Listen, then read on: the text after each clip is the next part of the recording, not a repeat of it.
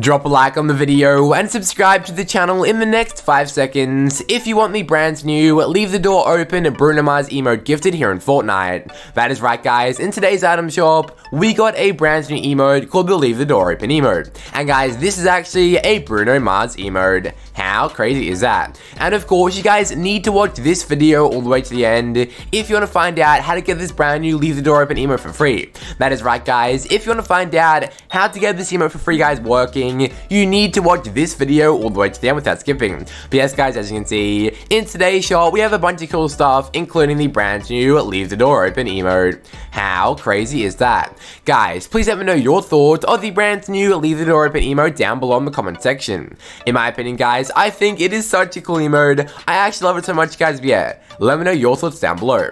And of course guys, the way you can get this emote for free is by me gifting it. That is right guys, the way to get the brand new Leave the Door Open Bruno Mars emote for free is by me gifting it. How crazy is that? So of course, if you guys want this brand emote gifted, all you have to do is drop a like on the video, subscribe to my channel with the post notification bell turned on, and of course, comment your Epic Games username down below.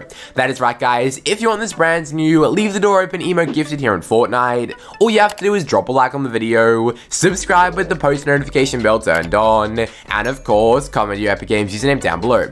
Of course guys, I'm going to purchase it right now as you can see, the brand new Leave the Door Open emote guys, take a look at that music by Bruno Mars and Anderson, Paak at Silkson at, at Silk Sonic, dance moves by Bruno Mars, guys. I can't speak right now, this emote is insane, guys. Take a look at that. The brand new Leave the Door Open emote. If you guys want to see this screen next time you log on Fortnite, all you have to do is drop a like on the video, subscribe with the post notification bell turned on, and of course, comment your Epic Games username down below, because yeah, it's such a good emote, guys. So one more time, if you want to see this screen next time you log on Fortnite, drop a like on the video, subscribe with the post notification bell turned on, and comment your Epic Games username down below.